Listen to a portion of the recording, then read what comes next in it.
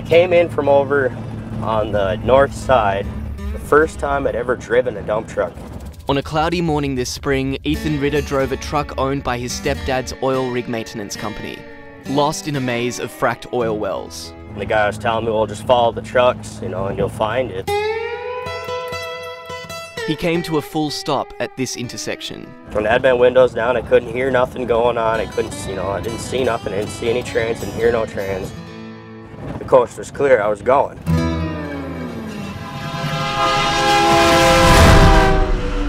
It was almost like everything went into like super slow. Next thing I know, that train hits me and I smoke my face on the windshield. It's crazier than any, any roller coaster you can find, I'll tell you that.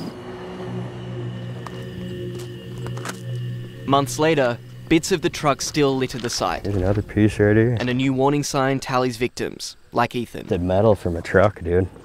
From burning. Climate Desk has travelled a long way to get to this intersection, and it may look pretty peaceful to you right now, but in fact, this intersection is a grim reminder of the human cost of North Dakota's oil boom. Residents say that there's more traffic coming down this road because it's the only access point to a suite of oil rigs just across this ridge. It's not only the oil production, but also the drilling, fracking, all of the, the traffic that's needed for those wells. Williston's only two dedicated occupational health doctors are stretched thin. lacerations, burns, um, fractures, um, um, eye injuries, chemical inhalation type injuries.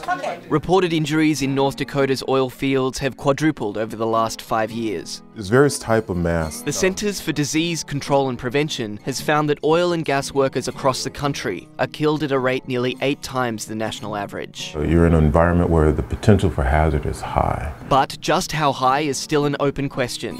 Underreporting plagues the system. Employees are often misguided into thinking that if they report an accident, they'll potentially lose their job.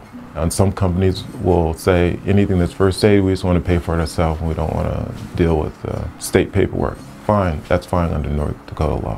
That's where the general impact was at, was on the, on the rear end there. Exactly where my face smashed into the windshield. Not taking it to the officials is exactly what Ethan did. Getting hit by a train wasn't his first big accident. A couple of years ago, he crushed his spine working on an oil pad.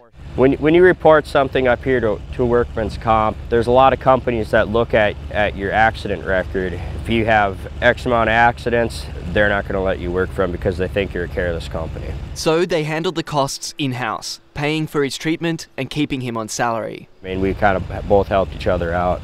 It's not every day you can go back and sit in something like this, I guess. Still, oil companies themselves say safety is better than ever. There's actually not much oil coming out of this rig, and that's because it's a training rig. We've been invited here by Nabors Drilling to check out just how the company trains their workers. Safety is, is taken seriously. And I couldn't imagine if we didn't have the safety things in place, how many people would be getting killed daily. Uh, my name is Mark Mossbrooker. They call me Shark. A lot of hand, hand and finger injuries. These guys have a tendency to go like this, put their hand right in here, and as it rotates back around, ouch. Hand injuries may be common, but they're far from the most traumatic. In 2010, Larry Dew was killed on a Nabors rig here in North Dakota when a chunk of iron the size of a small car fell 14 stories onto his head.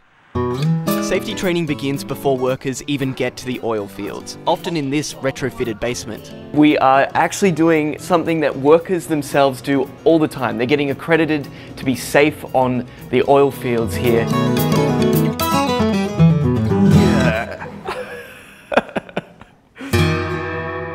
One thing that everyone in this part of North Dakota agrees on is that it wouldn't hurt to put the brakes on the boom. It's growing so fast here, no one can really keep up. I mean, this is only beginning.